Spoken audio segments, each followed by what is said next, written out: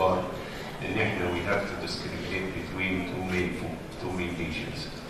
يا إما يكون الليجنز اللي إحنا بنتعامل معاها فوكال يا إما تكون ديفيوز فإذا قررنا إن هي فوكال فبنمشي في سكة معينة إذا قررنا إن هي ديفيوز فبنمشي في سكة ثانية فإحنا دلوقتي بنتكلم في الفوكال لانج ليجنز الموجوده في البيدياتريكس أو في الادلتس وهم أربع حاجات. يا إما نوديول يا إما ماس يا إما باتش يا إما كافيتي واللي حضراتكم شايفين وأنا بس متأسف عشان ما فيش بوينتر اشاور بيه قصدي ما فيش ماوس لكن هحاول اوري هو بيشتغل في مكان.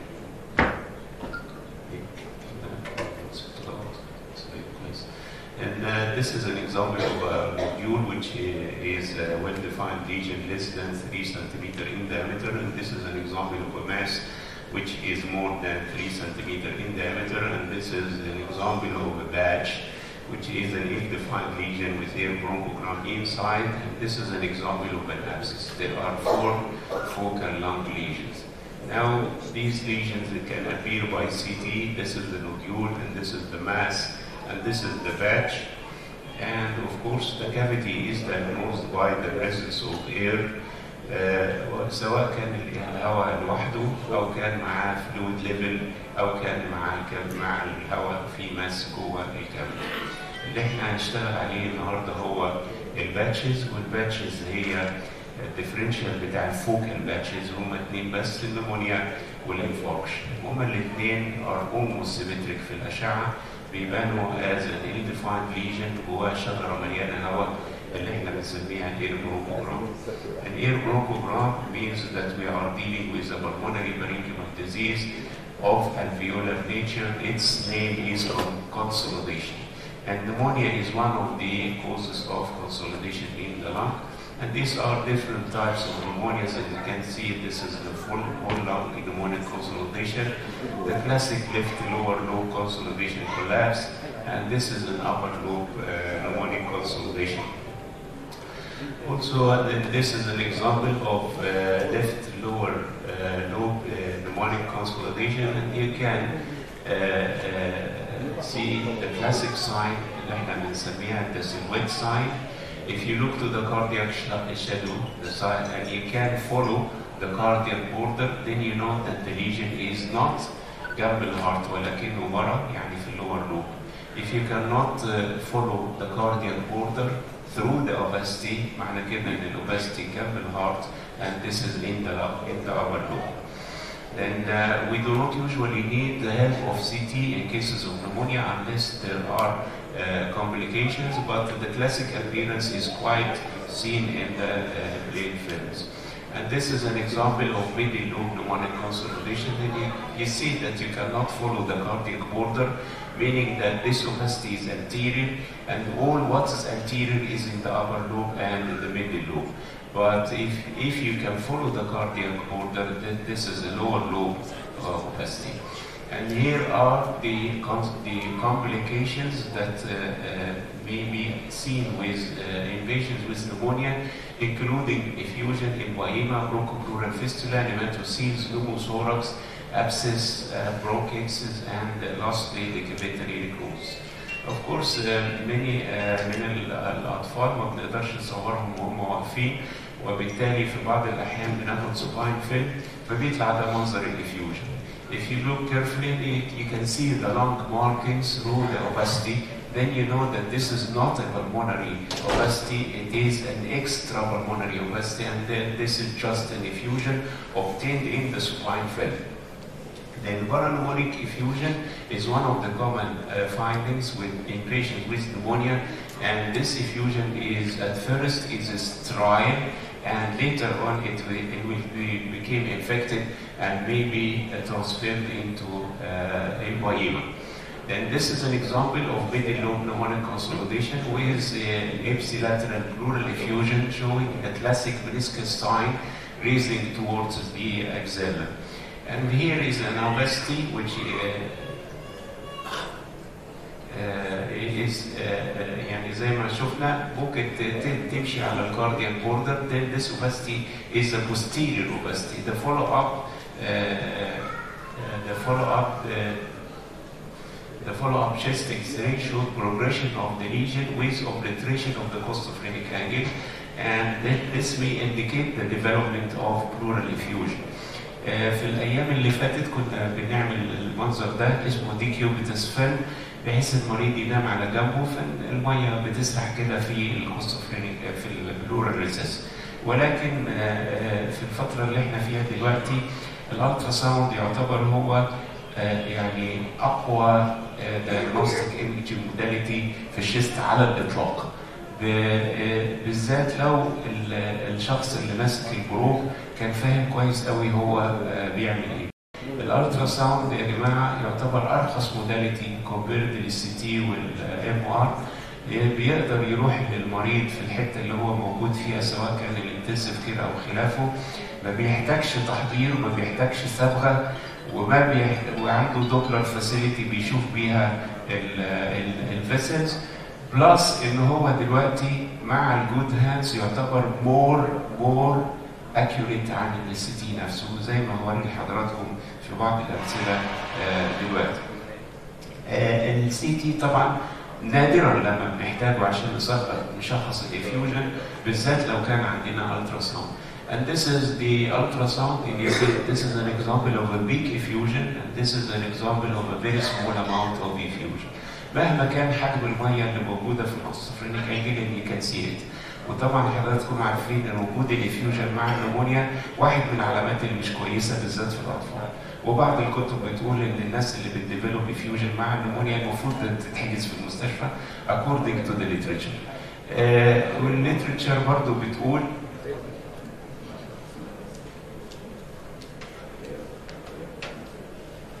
مستني بس لما الدكتور إبراهيم يخلص التليفون وبعدين آه آه بعض الناس بتقول إن إحنا نادرا ما بنحتاج السي تي علشان نشخص الإفيوجن وبرضه حتى النمونيا نادرا ما بنحتاج إن إحنا آه نشخص.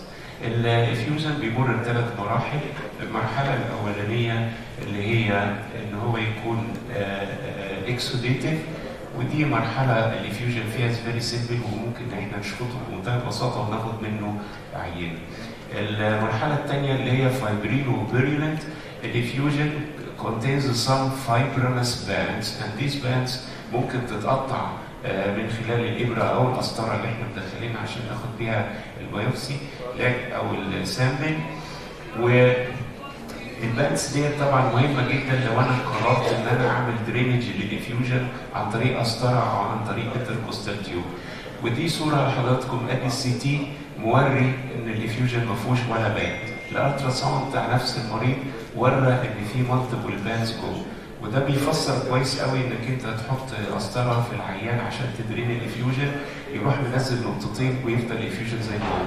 لأن الافيوجن از كومبارتمنتال وبالتالي you cannot drain الافيوجن بهذه الطريقة.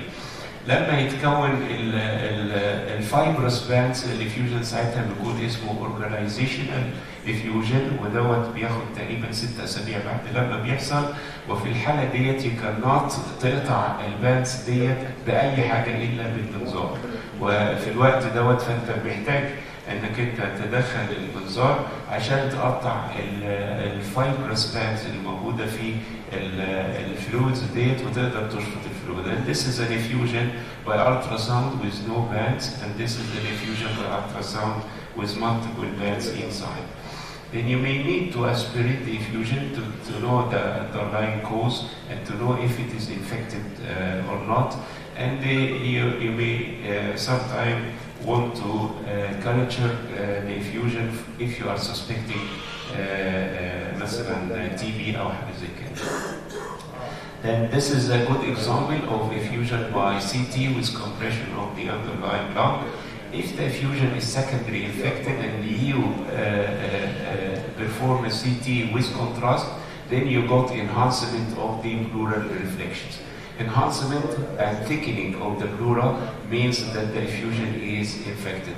and many times they said بيبعتوا لنا حاجات زي كده عشان ناخد منها سامبل والافيوجن بيطلع كلير وما فيهوش أي حاجة خالص. طبعا السبب واضح لأن العيان بيكون اتعجن انتي بايوتكس قبل ما يجي عندنا فبيطلع ما فيش حاجة في ال في الافيوجن وبيطلع استرايل لكن once you see thickening and enhancement of the pleura you are dealing with an emboyema then uh, this is another example of CT مش بيوري اي اي بانس جوه الافيوجن في حين ان الالترا ساوند وري البانس. If the effusion تحول إلى emboyema it will be insisted and then you will need to drain this effusion. And the drainage can be performed percutaneously عن طريق الجماعه بتوع الاشعه أو عن طريق الانتركوستال تيوب بتوع جماعة جراحه صدر وقلب أو عن طريق الامراض الصدريه بالمنظار to cut the uh, fibrous bands and to aspirate the pus. And this is an example, and you see the extensive amount of pus then after inflation of the uh, of the lung. And this is also another example, and you see a collection of pus along the right pleural space. This is by endoscope, and this is the picture after drainage. You got full aeration of the lung and the clearance of the collection. And uh, the complications of parapneumonic effusion, as I have mentioned, it may uh, be infected, leading to empyema, and it may lead to a lung abscess or bronchopleural fistula or even empyema necessitans. And they, according to the literature, these complications are rare in children.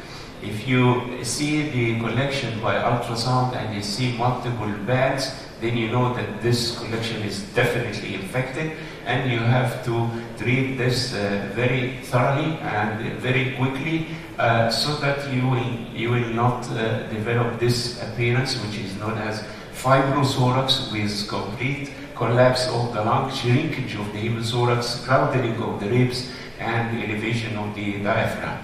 Then if you look here and you see air in the environment, this is, you we call this uh, pyopneumothorax, uh, but uh, you know that the presence of air in the empyema ليه ثلاث أسباب.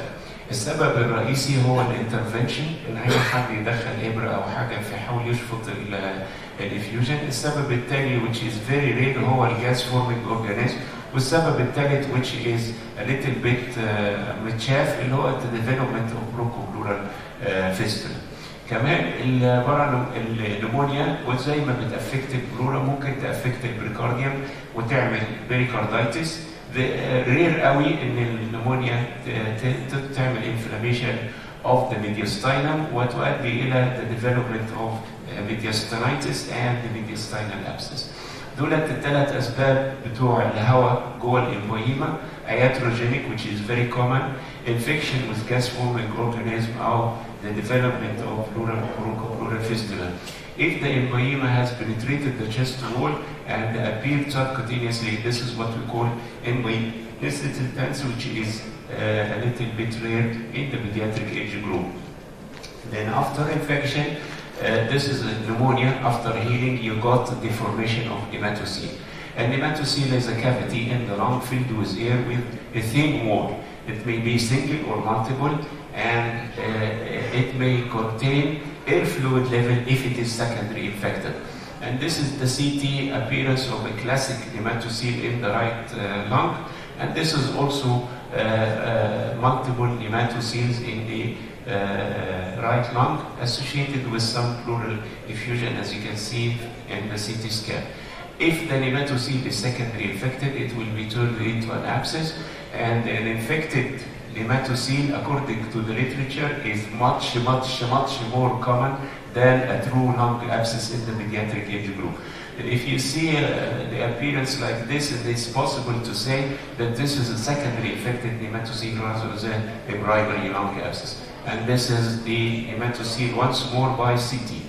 Then uh, pneumonia may, uh, may develop central breakdown to form an abscess and uh, this happens usually if the treatment is inadequate or the cause of pneumonia is not removed, like as you can see here in the foreign body, in the uh, bronch, in the trachea. Then the uh, breakdown inside the pneumonia, transforming it uh, into an abscess is a little bit uncommon, and this is uh, one of the examples of a true lung abscess in uh, the left lung of a child, which, uh, according to the literature, is considered uncommon when compared to the infected pneumatocele. And this is another example of a lung abscess showing the classic appearance of a cavity well defined containing air as well as air uh, fluid level. Then uh, after antibiotic therapy, and you got uh, almost clearance of the uh, lung abscess, as you can see in the follow-up chest film. One of the complications of pneumonia and is the development of bronchitis, and uh, this is because of the development of fibrosis and the traction on the bronchial wall. طبعا في الايام الغابره كان في حاجه اسمها برونكوجرافي دلوقتي خلاص ما بقاش موجود والصبغه مش موجوده أصلا بقت يعني اوبسوليت if we are suspecting bronchitis from the brain film, we can go direct to the, the CT scan من غير صبغه من غير اي حاجة خالص and you can see the exact bronchiectatic changes and you see the distribution بتعرف upper lobe lower lobe كله كله مع بعضه سهل جدا. And this is an upper lobe uh, consolidation collapse with internal bronchiectatic uh, changes as seen by CT. And this is the previous imaging by bronchography, which is not now available. And you see the dilated bronchi on the left side compared to, the right side. And this is also a CT scan showing uh, marked dilatation of the bronchi in the uh, lower lobe. And this is the difference between air bronchogram, which is usually seen in pneumonic patches, and the traction bronchiectasis seen in the long-lasting pneumonic uh, consolidations. This is ectatic air bronchogram, and this is the usual air bronchogram.